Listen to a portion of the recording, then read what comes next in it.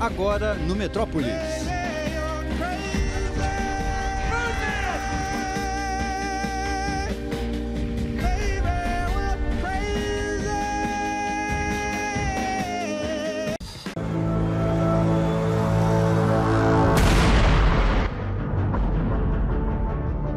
So you're not worried about what might happen?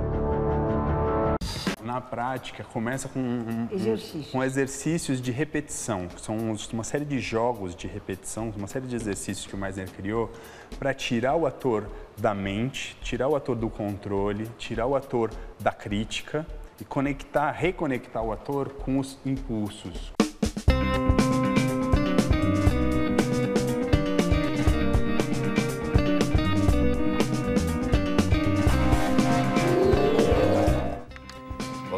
Olá, boa noite. A grande festa do cinema está chegando. Cinéfilo ou não, nesse domingo todo mundo vai querer conferir o Oscar. Você já escolheu os seus preferidos? Tem algum favorito? Hoje a Marina Pesson está aqui comigo para a gente fazer uma espécie de prévia da premiação. Boa noite, Marina. Olha, prévia não é comigo, tá? Vou que a falar gente pra acha? Que a gente acha? Pode ser que a gente erre então, tudo. eu só erro tudo. É, mas eu sou essa pessoa que só erra tudo. A gente ah, vai dizer meu o que, que a Deus, gente acha. que a gente gostou, pronto. Tá, isso, aí sim. É. Melhora, melhora, melhora. Vamos começar aqui. Eu Vamos tenho, eu tenho uma. Hum. listinha aqui. Roteiro, você tem algum favorito? O adaptado, ou Adaptado. original? Adaptado. Adaptado. peraí. Adaptado tá aqui a minha lista. Hum. Olha, é, eu, eu acho que o Vício Inerente, que é o filme que eu ainda não vi do Paul Thomas Anderson, pelo Hum. fato dele ter sido é, baseado no Sebald, não sei. Pode ser que tenha, que é, um, que é um livro muito difícil de você adaptar, mas eu não sei. Como é um filme que não foi muito badalado, Hum. é, não sei. Original. Original? Original. Eu vou falar, Ai, eu vou, é eu vou difícil, falar os, prêmios da, da- que, que- do né? sindicato. Ó, Hum.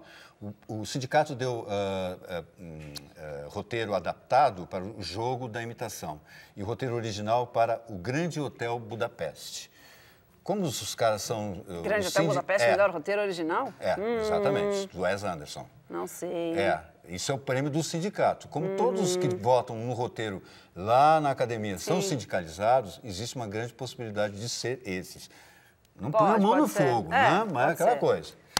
Você, já, você tem um favorito? Se eu tenho. Até lá está o nosso grande hotel Budapeste. Que ganhou, como falei para você, o prêmio Sim, do sindicato. Sim. De É, original. eu acho que até o roteiro do Grande Hotel Budapeste é um roteiro interessante, assim. É, Eu não gostei do filme por outros motivos, não, não por causa do roteiro, assim. Eu achei ele um pouco maneirista demais, uma repetição das coisas que o Wes Anderson já tinha feito. Não me encantei com o filme, não. Mas eu acho que o Birdman talvez tenha a chance de ganhar. Porque é o, é o grande favorito, né? Pra, pra, É o grande favorito outras um- categorias, as categorias principais Várias e tal. categorias. Então acho que o Birdman tem grande Tem chance dois aí. prêmios que são, acho que já estão assim, ó. Esses eu acho que já Então dá pra gente ator coadjuvante e atriz coadjuvante. Porque os dois ganharam todas as premiações até agora. Pode ser. Né? Atriz coadjuvante, Pat, é, Patricia Arquette. É, é, né? é. No Boyhood, pelo Boyhood. Pelo Boyhood. É. Né? E ela leva realmente o filme, quer dizer, não leva nas costas, mas ela é uma grande... Eu gosto muito do Ethan Hawke também. Acho que o Ethan Hawke está esquecendo do Ethan Hawke, apesar dele estar indicado, ele não tem nenhuma chance. Não tem, não tem. Eu eu falando aqui, aquela que não que fala que erra tudo falando, mas eu acho que é dessa vez eu acertei. Assim, eu acho que o Ethan Hawke. É o filme favorito da Marina, tá aí, ó, Boyhood. Ai, eu me encantei demais com esse filme. Demais. Eu acho ele o filme sensível, eu acho que ele tem essa, esse encanto de você ver esse menino crescendo. Acho que o fato dele ter pego momentos da vida cotidiana e não dos grandes acontecimentos na vida desse garoto, acho uma sacada incrível. E eu acho que o papel do Ethan Hawke é muito difícil, porque ele é esse pai ausente no começo. É. E que você vê que. E, e continua ausente, na verdade, aquele pai meio atrapalhado, isso aqui, mas que você ama, que você fala, meu, esse cara é um cara de verdade, é um cara real, esse pai existe, esse pai bem intencionado que não consegue fazer as coisas direito, assim, completamente pelos filhos, é muito E real. é, e é- e é e é- vamos lá, vamos, vamos tocar, senão a gente não vai conseguir, Ah, desculpa, hein? vamos lá, vamos Quanto tempo ainda tem, Matheus? Vamos indo. Ah, vamos lá. Que Ah, mais? Eu, assim, Você falou de. o ah, J.K. Simmons, É. ah, não é, o Whiplash, que ele está ganhando todos os prêmios E é também. incrível, né? Ele nunca tinha recebido nenhuma indicação. Eu, eu acho que ele nunca tinha feito um papel o grande. Ele fazia sempre papéis Fui dar uma olhada, vou dar uma xeretada assim na, na filmografia dele. Ele sempre teve papéis assim. Ah, mas aí- É, mas é sempre num papel assim, meio escada, aquele É, papel que não, né, que não tem uma, um um papel que protagonismo. realmente ele protagoniza, assim, quase que protagoniza. E É. mesmo estando concorrendo a ator coadjuvante, ele é quase que um protagonista. Né? Ele Total. Não, é porque garoto eles fazem essas categorias, porque acho que ele tem mais chance de, de, de ganhar como coadjuvante do que como. É, então os caras escreveram ele como. Exatamente. Tem essa coisa também, né? Você põe onde você acha que você pode ganhar.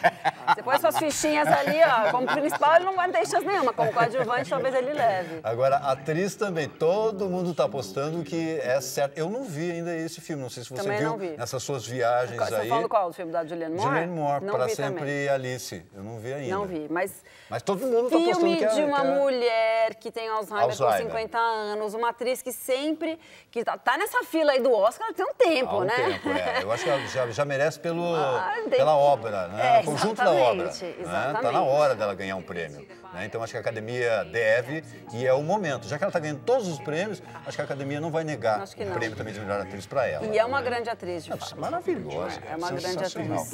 Agora é que fica difícil, Marina. Qual que você quer? Categoria pra puxar aí? Ator.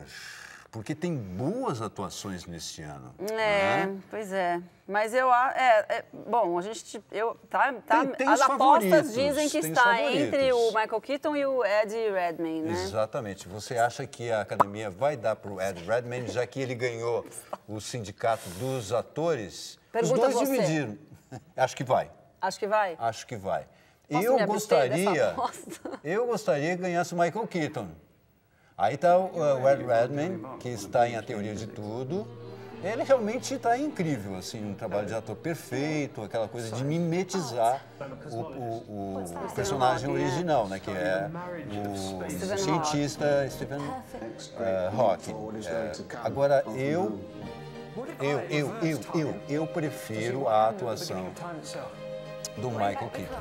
Eu Uma acho questão que- de gosto pessoal. Eu também Só. acho, se for pra, entre esses, sobretudo entre esses dois, eu acho que o Michael Keaton, você tem que considerar também um pouco o é que nem sempre a academia faz isso, mas assim, a, a carreira do ator, né? O cara ter acertado em um papel não quer dizer que ele seja exatamente um bom É. ator. Aí você ganha um Oscar de melhor ator e você não consegue fazer mais nada, porque daí seu salário sobe, você, enfim, acontece muito, acontece muito isso, né? O cara às vezes ganha um prêmio que vira uma maldição. Exato. Eu acho que o trabalho, aí como opinião pessoal, eu Hum. acho que o trabalho do Steve Carell no Foxcatcher tá incrível, Também, tá porque ele tá incrível. transformado. É. E merecia pelo menos um olhar aí.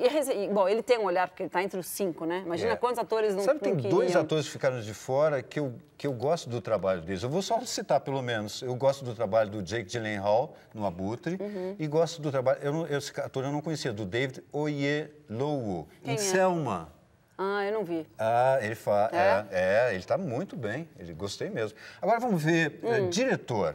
Os mais cotados, o Richard Linklater, naturalmente, né, por causa do Boyhood, e o, o Inharrito pelo É, tá, Birdman. aí, tá entre esses dois Tá aí. entre esses dois. O que, que você acha que vai dar? Acha? não, acha? Eu acho que vai dar um Inharrito, mas queria, queria que fosse o Linklater.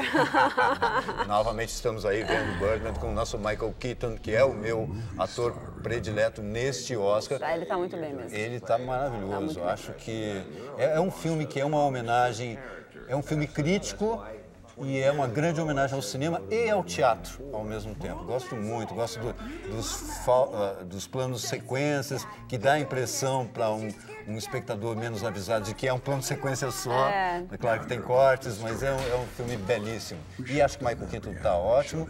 E pode ser que o Inharrito leve por melhor direção. Se bem que se o Boyhood ganhar... Aí, Você ganhar o quê? O filme, você ganhar diz? o filme, é. Aí acho que o uh, Linklater... É, em geral, esse, essa duplinha... Geralmente eles fazem dupla entre diretor e, e filme. um do outro, né? E você aposta... Mas acho que o Birdman tá com mais chances, de fato. É, o quê? Na, Filme? na- na lista de apostas, é, porque, É, o- o Birdman ganhou todos os prêmios do sindicato. Ganhou o prêmio do Sindicato dos Produtores, sendo que nos últimos 24 premiações do Sindicato dos Produtores, 17 Deu coincidiu com o Oscar. É. Então é altamente É, coincidente. são números, né? É uma questão de probabilidade. A probabilidade é que uma seja o probabilidade. Birdman. É, mas existe uma grande probabilidade que seja Birdman. Não, eu dei uma. Não... Andei dando uma fuçada na internet para ver né, as apostas e, e quase todas estão dando Birdman mesmo. Mas sabe o que, que eu já li também nessa Hum. coisa de aposta? Que está tão polarizado entre Birdman e Boyhood que algum outro que seja um azarão Ah, que correndo acontece. por, por- por acontece. trás, por, por exemplo, o, o sniper americano. De repente ganha um sniper americano. Porque, Será? é, estão dizendo. Porque está tão polarizado aqui Nossa, que um outro vem ia- por trás e eu ia ganha. ficar realmente triste. Se ganhasse o sniper americano, aí eu vou ficar. É, eu já li isso chateada. também. Eu, já- eu também Agora- ficaria chateado, porque eu não gostei tanto assim dele. Eu acho um filme. Uma coisa que a gente não comentou antes que acabe o assim. tempo. que antes que- É, a gente não pode falar- deixar de falar da Mary Streep, que está indicada pela 19 Nona vez. Mas não tem chance. Não, eu sei que não, mas, gente, chance. Chance de quê, gente? 19 vezes. Que chance outra pessoa tem indicada chance. 19 vezes numa vida só? É. Quatro, e quatro são de atriz coadjuvante, 15 são de atriz principal. Muito louco, né? É, mas ela é Realmente. maravilhosa, né, cara? Maravilhosa, Ela, até quando o filme é ruim, ela consegue Eu, fazer eu um vejo papel bom. qualquer filme que tem Mary Streep, eu vou ver. Vou ver até esse ela Into the é Woods tipo aí, que eu da não vi ainda. atriz que eu vou no cinema por causa dela. Você, eu e a torcida do Flamengo. Muito bom. Faltou alguma coisa? Acho que não, né? Falamos ah, posso tudo? ficar falando se tiver tempo. tem ah, tempo? filme estrangeiro, filme, Filme estrangeiro. estrangeiro.